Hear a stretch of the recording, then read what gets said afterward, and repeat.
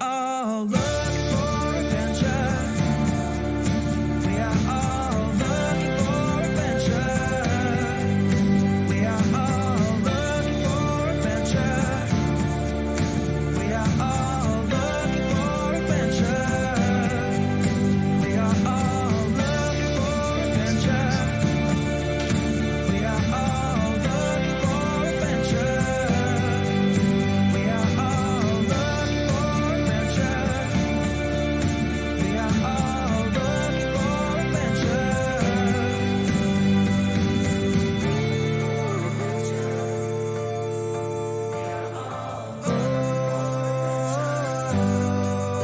Oh, that makes me want to go to camp right now. Okay.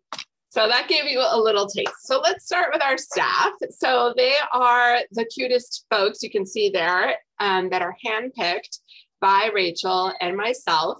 The counselors who live in the dorm with you are all college students who are studying either something in the STEM field or something in the art world. Um, or we say are lovers of nerd culture. They love Minecraft, they love D&D, they love Legos, even if they aren't majoring in it. Um, so the instructors, and we'll get to the folks who teach the workshops, we'll get more into that, are subject matter experts who teach those subjects even when it's not camp and even when it's not summertime.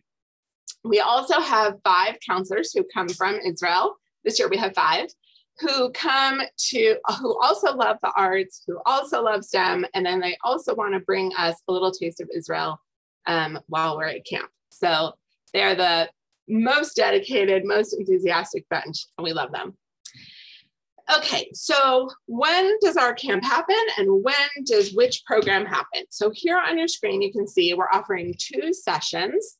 Session one with the dates and session two. So think about when you're available.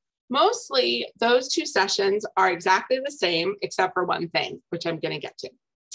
Taste of Camp is for um, rising first through fourth graders.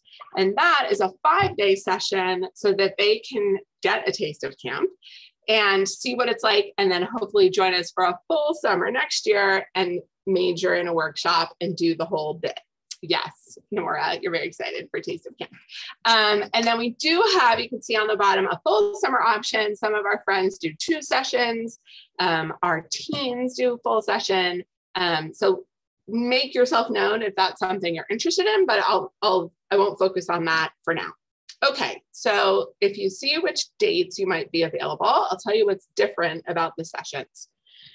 So there's a little bit of a difference in the workshops depending on which session you come to. So session one, you can see we always have robotics. We always have video game design, no matter which session you come to.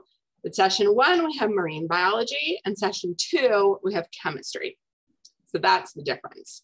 And in these workshops, no matter which one you take, you're going to work on a project through the whole 12 days of camp and then present it at a celebration that we call Hagiga, that means celebration in Hebrew, at the end of camp.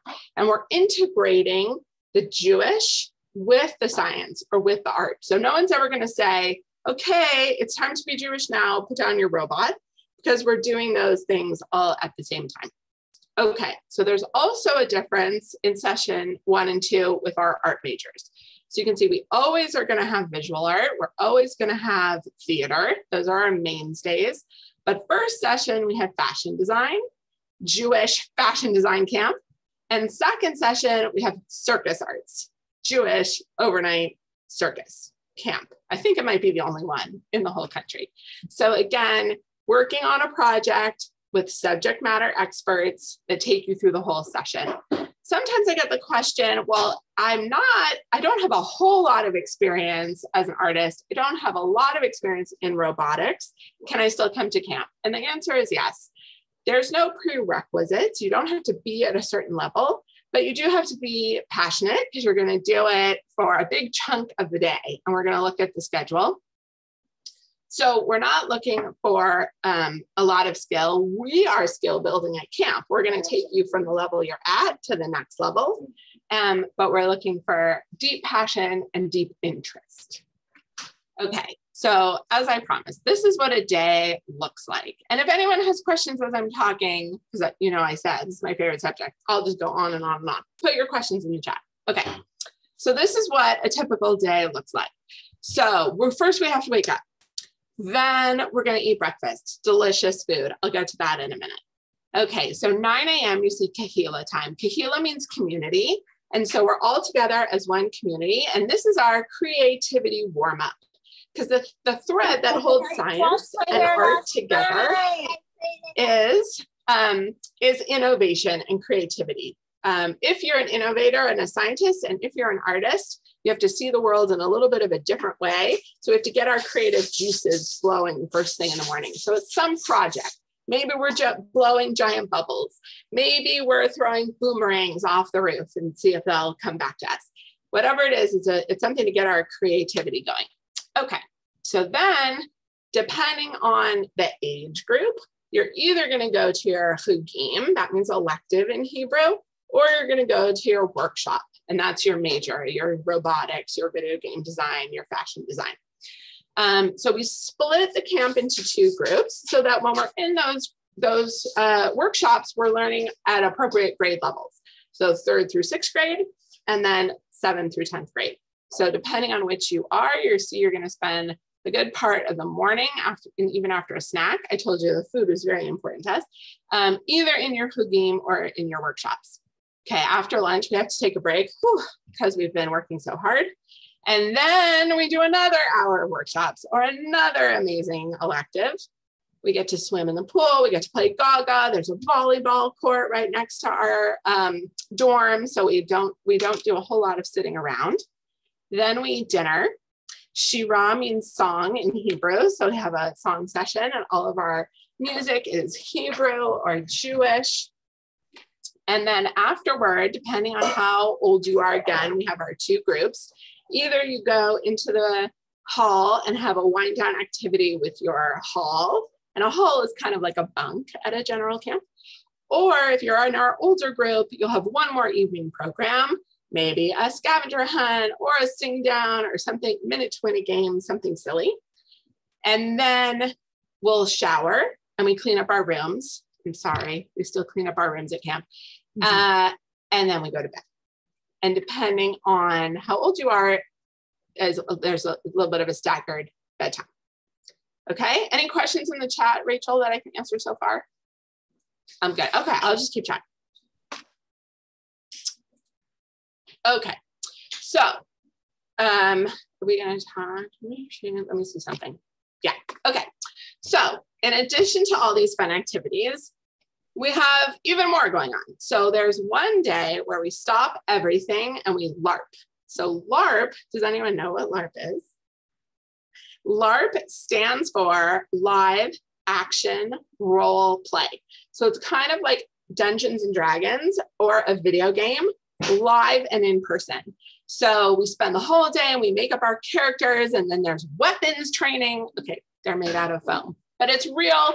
And then some people have magic spells and there might be a dragon. So we spend the whole day doing that. The Makers Challenge is our, our idea of a fun Shabbat afternoon on Saturday. We will challenge you maybe to make a giant Rube Goldberg machine, which is a chain reaction machine, you know, where like the golf ball rolls and hits the dominoes that, you know, blah, blah, blah. Or make a raft out of found materials and float your counselor across the pool. So that's our idea of a fun afternoon. Um, Friday Night Lights is when we look at the stars through our giant telescope while we're waiting for our turn to make s'mores. Oh, Shabbat s'mores, that's on there. Yes. And Haggiga, which I mentioned, which means celebration. And that's our giant festival at the end of the session where everyone gets to show off all of their hard work. So we have the theater performance, we have our runway fashion show, everyone gets to play each other's video games, your robot does its final challenge, etc., etc. We celebrate everybody's hard work. Okay, so let me talk about these hugim that I keep talking about. So again, hugim um, is Hebrew for electives. So you get three every day, and you'll stick with that for the first week. And then you pick three more the second week. So that's why it says there's two sets. And those are the kinds of things that um, our counselors want to, to teach. So it could be something like rockets and drones, or the science of cooking, or collage and mosaics, musical theater, um, shading and perspective drawing, something that um, is also still connected to the specialties that we love. Or it can be something general and campy like sports, gaga, uh, board games, anything, um, anything you want. So you pick those when you get to camp versus, this is a little bit of vocabulary, the workshop that you pick when you enroll. Okay? Okay. I'm going to keep going until there's a question. Okay, how can you have a camp on a college campus? Well, so we live in the dorms, and you can see the uh, some pictures here. So our dorm is just beautiful. Scripps College, it all looks like an old California mission. And our dorm actually is only one year old, um, even though they made it to look old. And I want to take you to this hallway, this picture that we're looking at. So it's a little hard to understand, but stick with me. So you're in this hallway, and this hallway, what we're looking at is a dorm suite. And this is what we would probably call a cabin at a general camp. So everyone in this suite identifies as the same gender and um, is around the same age. And you live here, and in each room, you can see those three are having a great time. They're roommates. So two or three to a room along this hallway. And in one of those rooms are your counselors. So they all live together on this hall. And then on this hall is also the bathroom. So all of you share the bathroom, which is down the hall. So you get a little college experience.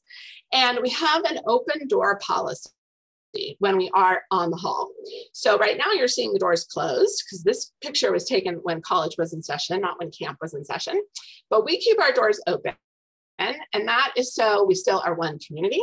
And so the counselors know what's going on in the other rooms. I think it's kind of like at your house where you're in your room and your grown-ups are in another room, but everyone knows what's happening and you know where to find help if you need. Um, you can request a roommate if you have a friend who's coming to camp and reciprocal meaning that you both requested each other. Another thing that I think is really important is we're the only ones in this dorm.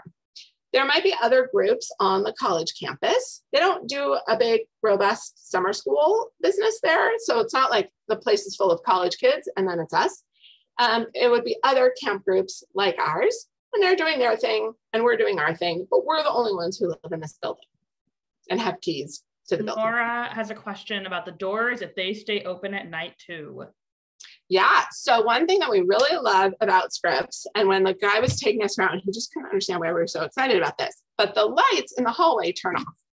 And the reason why I was so excited is because that means that we can crack our doors open at night and still have that um, communication and that supervision. But the light isn't shining in on you and you still get to sleep. Yeah. Okay. Okay, the food. So I told you this was the most important part. So it is delicious. Um, so one of the special things about being on a college campus is that um, grown-ups, you might remember the cafeteria at your college. So there is the hot entree, there's the salad bar, there's the sandwich, there's the combinations that you kind of dream up by taking one thing from that station and one thing from that station. At a general camp, usually they'll say, well, today is enchiladas, and maybe there's a vegetarian option. We have all these different options in addition to vegetarian, in addition to gluten free, dairy free. The um, thing that we always want to be clear about is that the meat at Scripps College is not kosher. So our friends who keep kosher are vegetarian at camp. moving on. Okay, so how is all of this Jewish? Well, so as I mentioned, when we're in the workshops, we're always integrating the, the our specialty with the Judaism. So I had given the example, no one's going to say, put down your robot, it's time to be Jewish. So how do you make robotics Jewish? Well, the instructor is going to pose a challenge to you, and it might have some connection to, Jew- to Jewish values. It might have some connection to Israel. So, actually, this year I was talking to our robotics instructor, and she was really interested in an Israeli company called BioBees, because bees, which are so important to our environment, are really having trouble these days. And Israel, which is the seat of technology and innovation, and also of agriculture, is figuring out a way to make sure that the bees can thrive and not kill bees with our pesticides. So, and they're doing it through robotics. So these are the kinds of challenges, and these are the kinds of things that we're talking about and how we integrate the Jewish and Israel with our specialty. Shabbat is the best time of the week, and those friends in the picture are at our uh, song session and dance party at the end of Shabbat. Um, our schedule is a little different. That's when we get to do our makers challenge. We have a all camp tie dye, all camp talent show. We um, have a popsicle uh, popsicle dance party. What did we name it today? Our Mesibat Artik, a popsicle dance party. Um, and of course, our big song session and Israeli dance session. So Shabbat really is the part that everyone says is their favorite. Um, I also mentioned our Israeli counselors who come and um, meeting Israelis and living with them every day really brings that to life for our kids. Um, and then making sure that we are always talking about Judaism through the lens of our specialty. How can this thing we love be Jewish? Is how we really bring the whole thing to life for our campers. So that's that's how we're Jewish. Okay, let's talk about the thing we have to talk about, which I'm sorry we still have to be talking about this. But I won't read this slide to you, you can read it. Here's what I'll say. We had zero COVID in camp last summer, and that was before we all were vaccinated. So we were very confident that we can um, stay healthy and safe this summer. So we are uh, requiring that all of our staff and all of our campers be vaccinated and as up to date as possible with their boosters. And I can get into what that means if you have questions about that.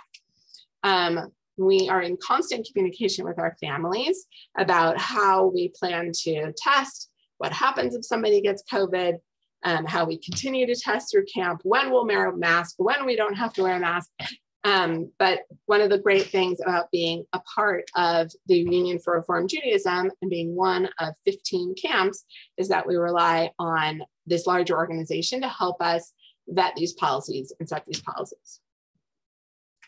Any questions about COVID? I'm skimming over because there's so much we can say.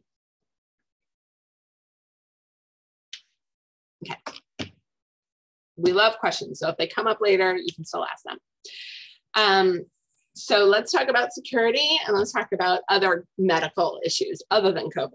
So uh, Scripps has 24-7 security. We work closely with campus security. We also have a health center on campus and two nurses who live on camp with us. So if you come to camp needing daily medications, no problem. We do med call four times a day. We we'll, can talk all about that.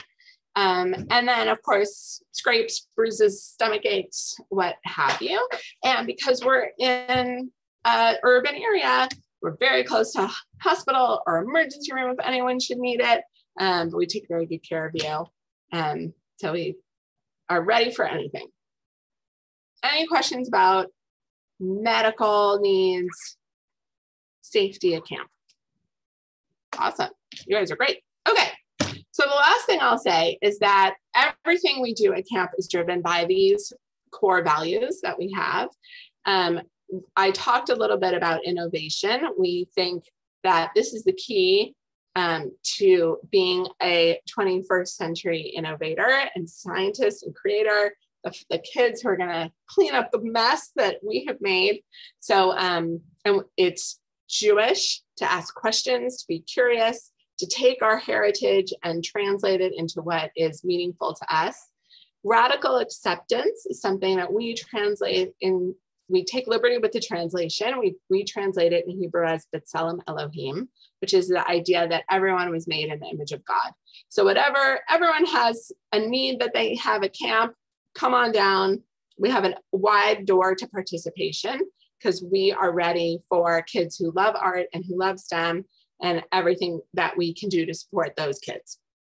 Patience and perseverance is a critical skill what we mean by this is leaning into failure, having grit, um, and feeling your feelings. So we practice that um, every day at camp.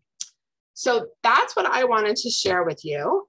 Um, I would love to take any questions, anything that I went quickly over that you want to go back to, um, or if you're ready to log off, you can um, and I'll follow up with you, but we'll stay as long as it takes to answer anybody's questions. Rachel, did I miss anything important? a very quiet chat tonight. I was just going to put a few last things in the chat, our website, our social media, our email addresses. Oh, India, great question. Do I do we wash our clothes? That is a good question. If you're coming for a 12 day session, we don't offer laundry. If you're coming for um, the full four weeks, then we will do laundry for you. Can I ask a question? Please. Hi, Sloan. Hi, how are you? Um, so do the kids either pick like all science or all art, or do they have an opportunity within the different like workshop times to pick a little bit of both if they would like, or stick with one or the other? Yeah, that's a great question because one of the advantages of having two specialty tracks under one roof here at Six Points West is that you do pick one for your major for your workshop, but then with the electives that you get three for the first week and three the second week, you can mix and match, or you can stay in your lane. You can say, I'm a STEM kid. That's what I love. I'm here for STEM. So I'm going to pick robotics and I'm going to pick drones and I'm going to, right, like, and stay within that. Or you could maybe you're a STEM kid, but you're not just one thing. And you would like to do a little like shading and drawing, or you would like to chill out and play some board games. So it's up to them.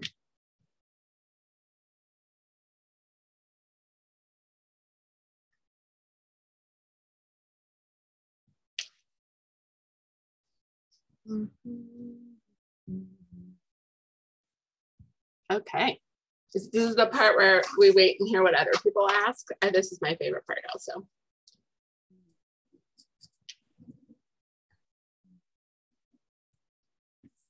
Let's see.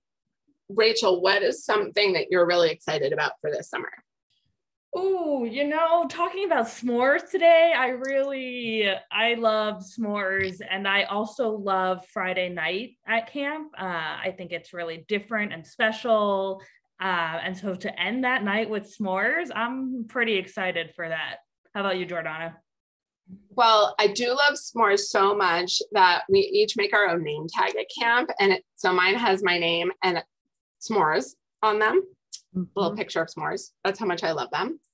Um, I think I'm really excited for um, Kahila time, which is our creative daily morning creativity warm up, because it's going to be something big and crazy every day. And it's just kind of like there's just some things that you can only do at camp because they're on, we put them on such a big scale. So I'm excited for that. Awesome. Awesome. I feel like people are taking their time and maybe continuing on the rest of their evening, which is totally okay. I put everything in the chat. Yeah, Stein. Yes, Stein. Do you want to ask it? It's about roommates. How do they choose your roommates and how many people are in a room? Oh, yeah. So most rooms are two. There's very few threes. And if you have a friend who you're coming to camp with that you know you want to be a roommate, then you both put that down on one of the gajillion forms that you're going to fill out. Mm-hmm. Um, and if you don't have a friend, then we put you with someone who we think that you'll get along with, who maybe it has some similar interests with you, and you already know that they identify as the same gender and they're around the same age as you. So, and they chose this camp. So you're starting out with a lot in common.